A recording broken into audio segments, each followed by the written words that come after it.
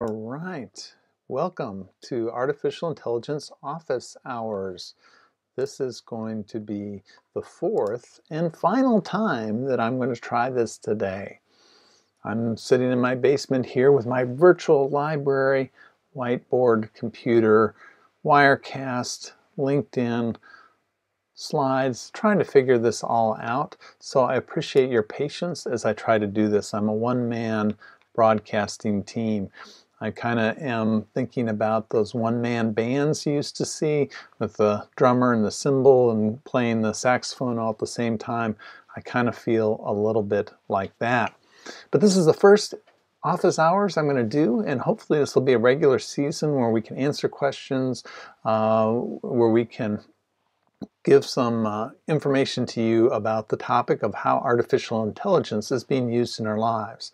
And I thought it would be best to start out today to talk about how artificial intelligence is being used to deal with the current pandemic that our entire planet is dealing with at this time. So what I wanted to do was to mention first off that when we talk about AI, or you see it in a newspaper article, what you need to remember is that AI um, is a big field. But what most people are talking about is a narrow form of it called machine learning. Now, what is machine learning?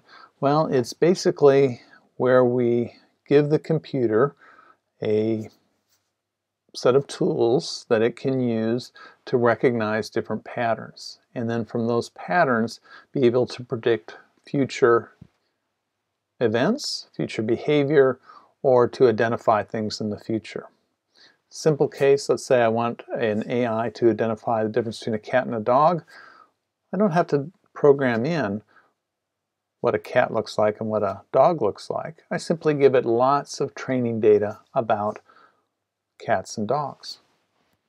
So let's take a little bit of a look at how machine learning, or what the press calls AI, is being used to deal with this current pandemic.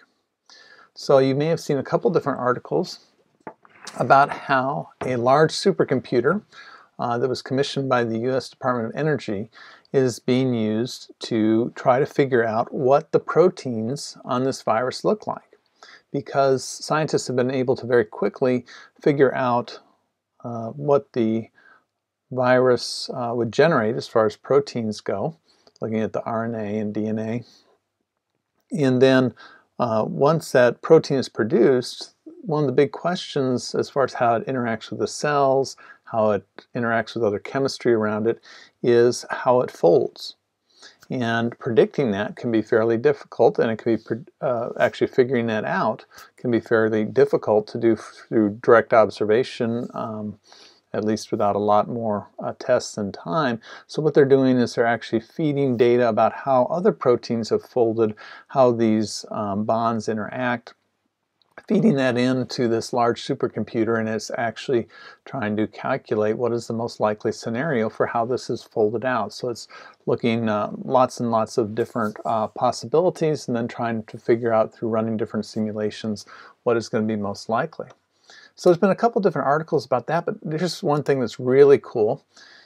There's a project called Folding at Home. So instead of having a supercomputer located in one place, the idea is to have this distributed computing capability where you might lend a little bit of your idle processing time. Those of you that have PC games, uh, you have uh, maybe big graphics cards that have these big GPUs on them. You can actually lend that processing power to different scientific projects when you're not gaming. And so this is called Folding at Home. It's one of several different um, what they call bionic projects. It's run by the uh, um, uh, University of Berkeley. And they have several different projects, but this one's called Folding at Home. And you can actually um, download this software, just foldingathome.org, and you can uh, participate in this. So right now they're having so many people jump online and saying that they're willing to participate to lend their idle time to this project. They're actually having to kind of rejigger things and figure out how to break up the data a little bit more efficiently. Another uh, thing that you may have seen is about how epidemiologists are actually using AI to predict the movement of the disease. And this was an algorithm that um, turns out was very effective in actually predicting, uh, had a model that predicted very well the spread of this virus based on people's movements uh, through uh, planes and trains and other things like that. So very um, interesting, especially for any future pandemics we might be facing. In China, there's a number of ways that they're using AI. One is not only the virus research, which we talked about before, but also being able to detect who might have that particular virus based on heat scans. So there may be other reasons why you may be a, a little bit hot, maybe you're flush, maybe you've been running, uh, but how can we detect a heat signature that can be identified with this virus? So actually trying to massively screen people using cameras.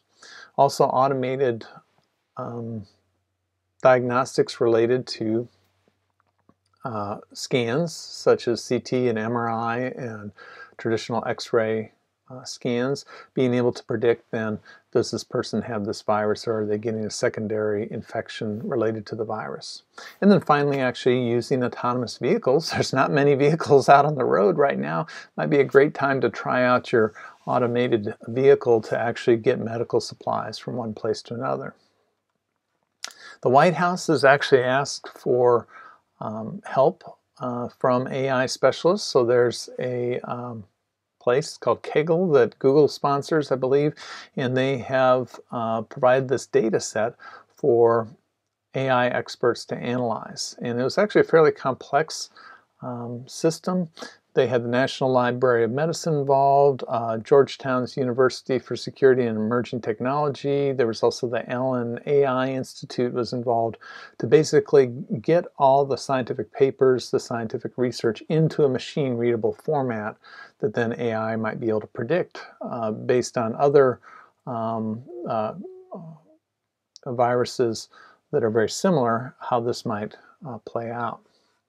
And then finally, the last one I wanted to mention here is uh, about how social media is now having to turn to automated means of content moderation. So there's already some of that, but they've had to massively deploy that because now they just are not in the same place. They're having to disperse. Uh, as Facebook said yesterday, they're just trying to keep the lights on. So uh, it's very difficult for them to be able to scale up their servers and their network infrastructure.